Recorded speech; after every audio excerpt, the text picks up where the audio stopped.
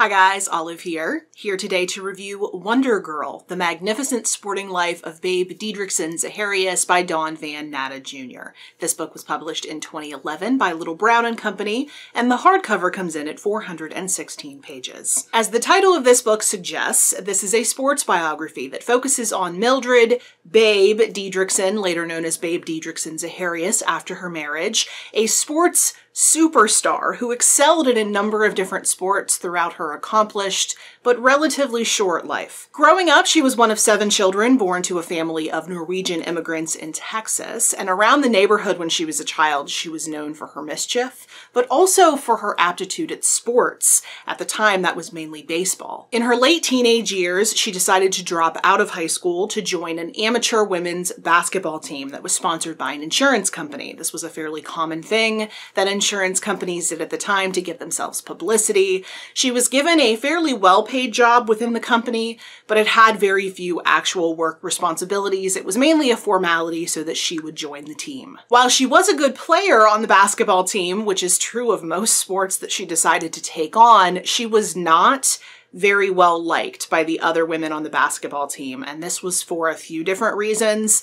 The first was that she was fiercely individualistic. She was only concerned about her own performance. She was not really interested in being a team player. The second reason was that she was highly focused on the money she was making and kept trying to make more. This wasn't because of greed, it was because she was sending a lot of her earnings back home to support her family, so she wanted to make as much as possible. But the main reason that they just could not stand her was that she was very cocky. This is something that is really highlighted in the book. The author does not attempt to romanticize it, which I think is really appropriate because it's a big part of who Babe Didrikson Zaharias was. She was a brash and confident sportswoman who enjoyed playing mind games with competitors. That didn't win her a lot of love from her teammates, and it earned her a lot of criticism throughout her life as well. But the most annoying thing about Babe's bragging is that she could back up those claims with a tremendous amount of talent. She would tell you to your face that she was going to whip you, and then she would go out and do exactly that. Eventually, Babe didn't have to worry anymore about the clashes between herself and her women's basketball teammates, if it ever concerned her at all, because she made, in my opinion, the correct choice to move into individual sports, where she stayed for the rest of her career. She decided to move into track and field because it had captured her interest. She wanted to give it the old college try, as they say. But she started her career off with a bang when she very controversially decided to participate in a competition as a one-woman team, meaning that she would be competing in all of the different events. And she won enough of them to actually secure the win for her company, Employers Casualty. In that exact same year, in 1932, she went on to compete in the Olympics that were held in Los Angeles that year. She competed in track and field, and even though she hadn't been doing it that long, she won two gold medals, one silver, and set four new world records. And after this, she started getting a little bit of fame, a little bit of notoriety. People started questioning if there was a sport out there that she couldn't master. The answer seemed to be no, when as she was deciding what sport she wanted to take on next, not what sport could she take on next, but what sport she would want to take on next. She started performing on the vaudeville circuit before eventually deciding that the next sport she would conquer would be golf. Golf did come to Babe a lot less naturally than the other sports she decided to take on, but unsurprisingly, she ended up dominating and became one of the top golf stars of the 1940s and 1950s. Even today, if you were to mention her name, she is probably the most well known for her achievements in golf. But this book doesn't doesn't just discuss her myriad athletic accomplishments, it also discusses her personal life and also her place in the public eye. She was a sports superstar. She did get famous because she was so accomplished, and the press always had a lot to say about her. Primarily, there were a lot of criticisms of her appearance. In the early years of her career, at least, she was not even concerned with appearing slightly feminine. All of her focus was on being the best at sports, where I would argue her focus should have been. But the press had other ideas. The press very frequently commented upon the masculine side of Babe. They thought she looked like a man, they thought she played like a man, and they were not afraid to make fun of her for it in the press. I could say that that was a product of the time in an era that was very concerned with women being feminine, but I still hear some criticisms to that effect in the press when they discuss female sports stars. So. As part of those conversations the press was having about Babe's masculinity, they didn't directly insinuate because of the time period, but they definitely did casually hint at the fact that Babe might be gay.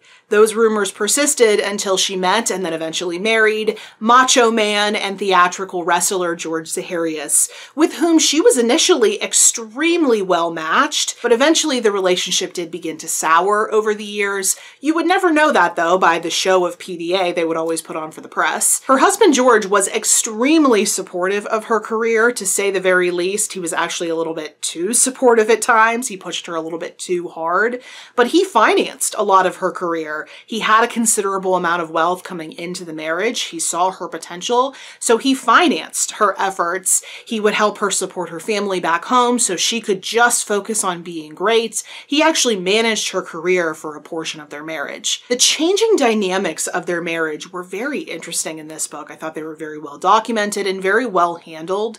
It all felt very realistic. Even though they were putting on one face for the press, you could see how they had their highs and lows like pretty much every marriage has. Babe didn't have a ton of friends because she was so focused on sports, but she did have a very close relationship with fellow golfer Betty Dodd. There was and still is some speculation that it may have been a little bit more than a friendship, that it may have been a romantic relationship. But regardless, she was close enough with Babe that she moved in with Babe and George for the last six years of Babe's life. For a portion of that, Betty was helping to care for Babe because in 1953, Babe was diagnosed with colon cancer. She was able to fight it for a few years. In 1954, she was well enough to return to golf to make a comeback. And not just as a formality, she actually won a championship in 1954, which is just proof of how remarkable this woman was. During this time in her life, Babe was very vocal and outspoken about the need for cancer testing. She was an advocate for cancer awareness in a time where speaking about cancer was not done as casually as it is today. It was a lot more delicate of a subject. It was something you didn't really bring up, but she saw the need for people to talk about it, to make it more of a normal thing to go and get tested for cancer before it advanced to the point where her cancer had. Sadly, Babe's cancer was very advanced. It ended up coming back and spread throughout her body. She passed away in September 1956 at the age of 45. While she's definitely not the most well-known Babe in sports, that title definitely belongs to Babe Ruth, she definitely was one of the greatest sportswomen of the 20th century, and I would say one of the greatest sportswomen of all time. To excel in the way that she did in so many different sports, only a few of which I've spoken about in this video, there are plenty more to discover if you read this book, was really something special, and it wasn't just special for the time, it's just special, period. By the end of her life, she was a generally popular, well-liked figure by people, even given her sometimes rocky relationship with the press.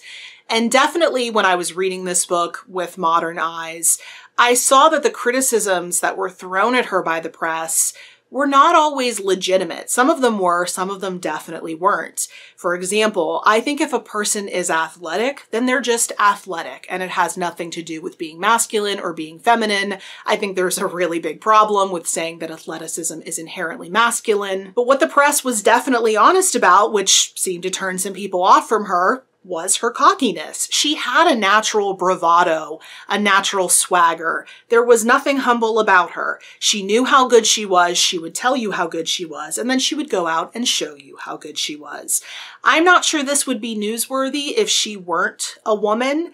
I think to say that a male sports star is cocky, no one would bat an eye, but because she was a woman, it was newsworthy. But also, as the book shows, because the author is able to go back and fact check a lot of Babe's claims when the media at the time didn't care to or didn't have the ability to do so, Babe wasn't above telling a lie in order to be more in control of her own image or to make herself look better.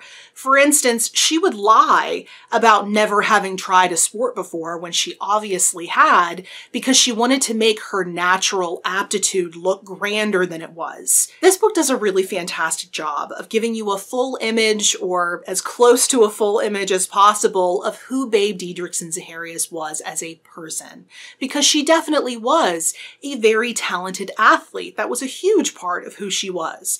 But what I don't think is obvious when you're just looking at a summary of her accomplishments is what a tremendous performer she was. It's one of the reasons why I think she was able to make such consistently good money on the vaudeville circuit, why she could always turn back to that, and why also I think she married the equivalent of a WWE heel. She was ready to give him the old razzle dazzle. There was a natural showmanship to her, and I think the book portrays her perfectly you can see all of her strengths and weaknesses as a person, and you are still standing back ready to be awed by her. There was and still is a lot to love about Babe, but there is also a lot that you will raise an eyebrow at. She was definitely not an unproblematic figure. She had some questionable tactics and opinions. I really do have to applaud this book for not just focusing on her athletic achievements and for showing all the good and bad parts about her, for showing who she really was and giving us a sense of what all she brought to the table. Even if you're not the biggest sports fan, I think think the personalities and the history contained within this biography will be enough to pull you in.